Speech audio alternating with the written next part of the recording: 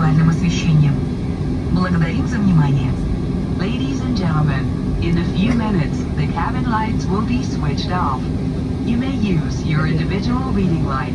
Thank you for your attention.